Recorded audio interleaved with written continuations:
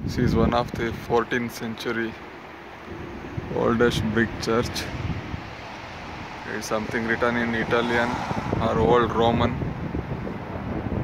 And when you go like this, and you can see the city main church. That is also looks stunning. This whole town is simply amazing, guys. Amazing, guys. Amazing whole town. Lovely medieval uh, Europe. There is a tram going, and that is the oldest cathedral. I'm recording in 4K for you guys.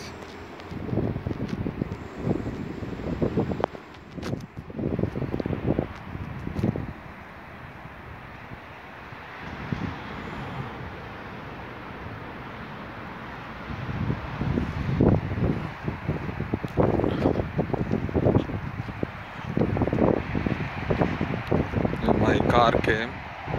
I need to go. Another look for guys. Have a nice day. See you all guys. Bye.